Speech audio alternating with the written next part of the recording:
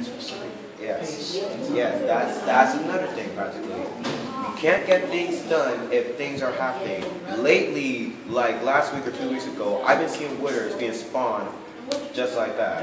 And so many That's people, Naruto. and so people I don't know who spawned, I don't know who spawned them, I don't know where it spawned, oh, I know where it spawned, because it spawned me. The next person that spawns a wither, whoever's close to the wither one, whoever's close to that wither, and saying that's attacking them, let him stay there.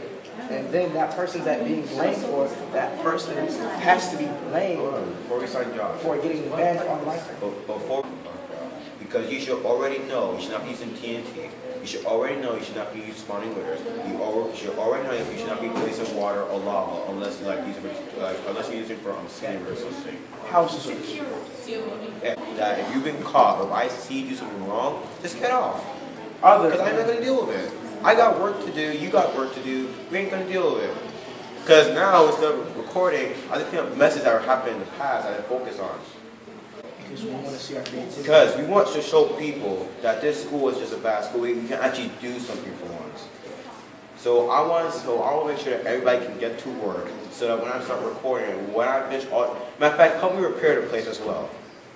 Because we can't record, you know, um, messed up junk. Because that's not record worthy. No, we need stuff that we, that we can fix or we finish.